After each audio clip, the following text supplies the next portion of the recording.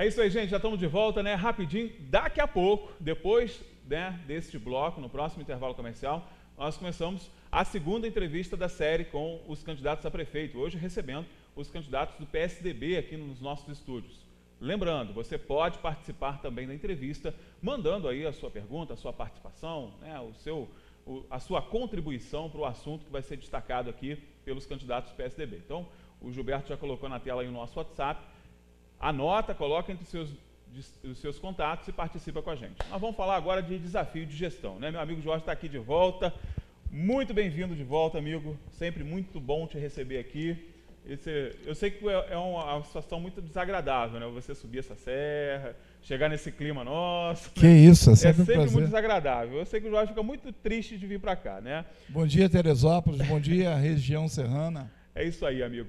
Cara, a gente tem uma, um desafio muito grande à frente, né? Aproveitando um pouco da, da, dessa experiência de gestão, dessa experiência política que o Jorge tem e que traz de uma região bastante né, complexa como a, a, região que ele atua, é, a gente tem um desafio muito grande pela frente que é o que, que um prefeito, o que, que um gestor pode fazer, que tipo de prioridades esse novo prefeito da cidade vai ter que ter né, elencada, vai ter que ter muito clara na sua mente para que esses desafios sejam vencidos, amigo?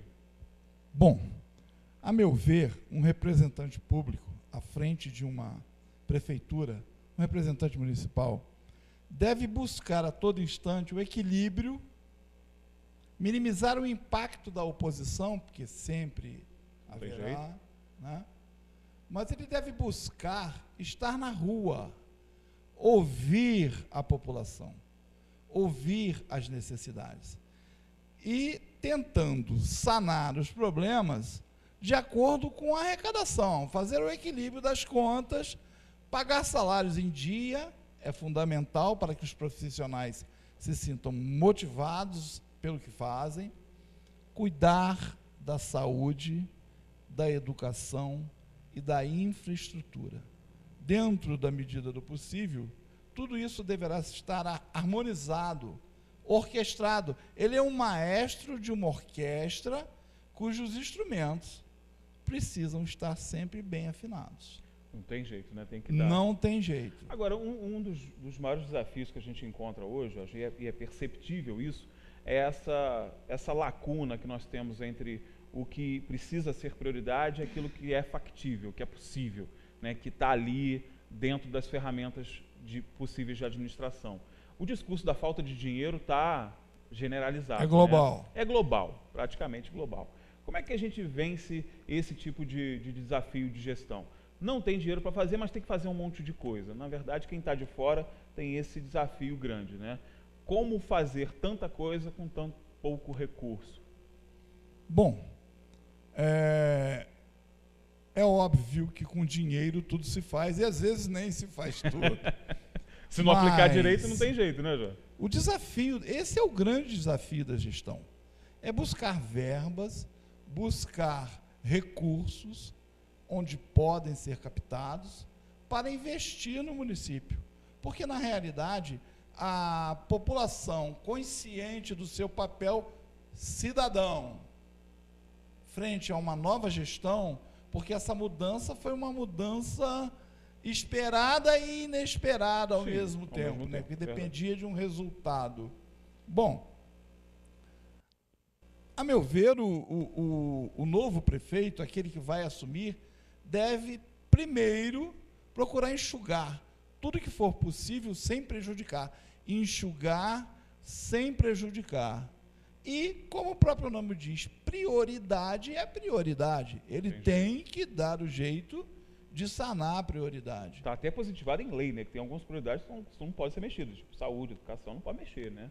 Vai buscar recurso no Estado, vai bu buscar recurso, recursos na esfera federal, tenta, por meio dos seus é, assessores, por meio do, do, do pessoal. Verdade. Uma coisa muito importante a respeito de prefeitura é que o prefeito precisa ter uma visão de que as secretarias precisam estar representadas por profissionais competentes e não por compromissos de campanha.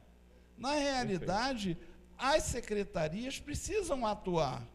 As secretarias, em uníssono ao prefeito, porque ele que nomeia os secretários, é ele precisa escolher bem aquele que vai estar à frente de uma secretaria para representar a necessidade daquele setor.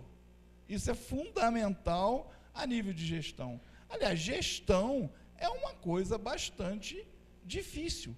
Quando bem orquestrada, ela dá 80% é certo. Vai ter problema sempre, não Com tem certeza. Agora, o problema falou... faz parte da, da, da gestão, vida, né? da gestão. Agora, você falou uma coisa interessante mesmo, né? O, o, prefeito ele tem que entender que quando ele nomeia pessoas capacitadas para ocupar secretarias, ele não tá, na verdade, não está fazendo um favor para a população, nem está cumprindo lei. Ele está se ajudando, né? Porque imagina, você bota um cabeça de abóbora numa secretaria, porque ele acaba eleitoral, porque ele pede voto bem, ele vai te prejudicar na frente, não vai ter jeito, ele vai fazer merda na secretaria, não tem jeito.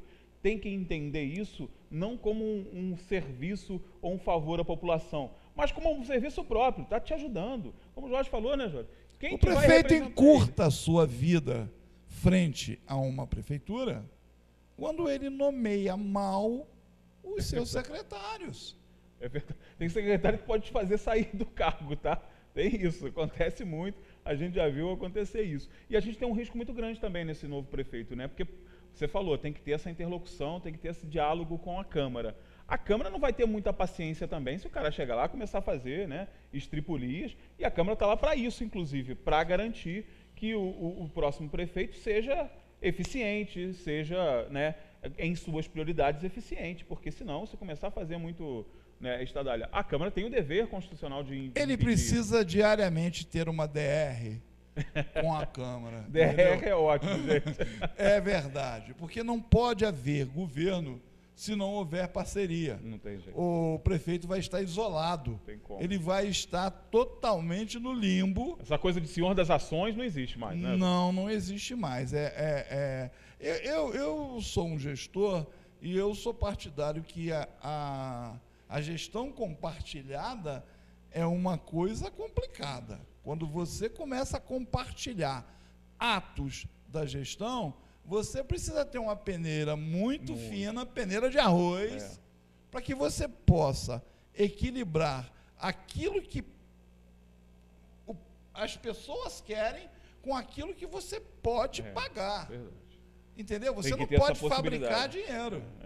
É, é, é complicado. É, na realidade, é, o cargo é um cargo imponente, é um cargo mor dentro de um município, é um cargo é, de grande vulto e o prefeito precisa sair do pedestal. É, ele precisa ir para a rua, ele precisa estar presente Perfeito. junto com os seus representantes, com as associações, as associações de moradores. Ele precisa estar a par da, da, necess, da real necessidade, real necessidade e separar o real do ilusório.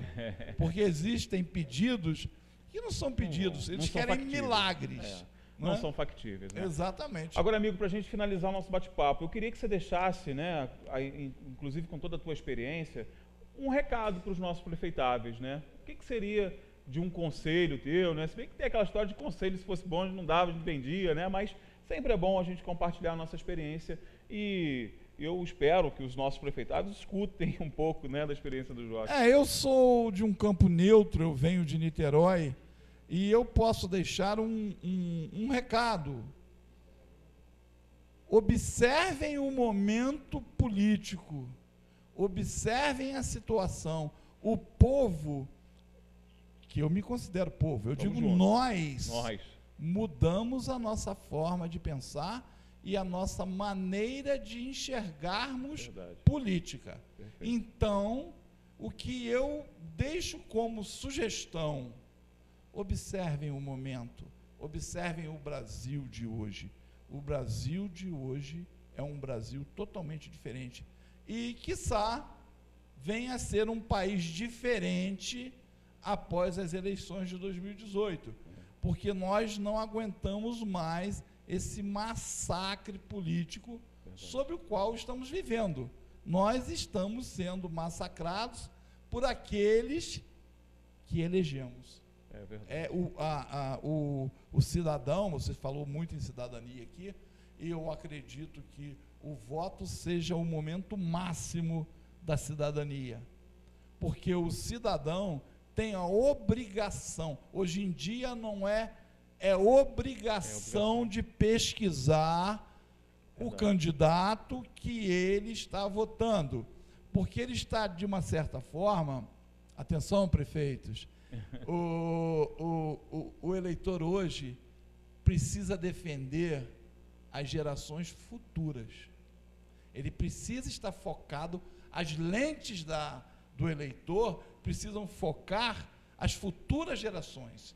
Porque é muito poético dizer que país nós queremos deixar para os nossos filhos. Isso é poesia. Isso precisa ser vida real.